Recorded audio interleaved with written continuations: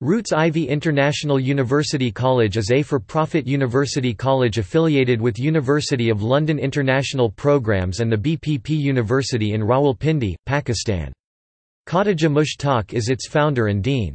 It is part of Roots Education System, a for-profit company in Pakistan. It also provides degrees in affiliation with Association of Chartered Certified Accountants, Higher National Diploma and Institute of Commercial Management. It also has a satellite campuses in Faisalabad and Islamabad. Topic academics A broad range of undergraduate degrees by University of London are offered.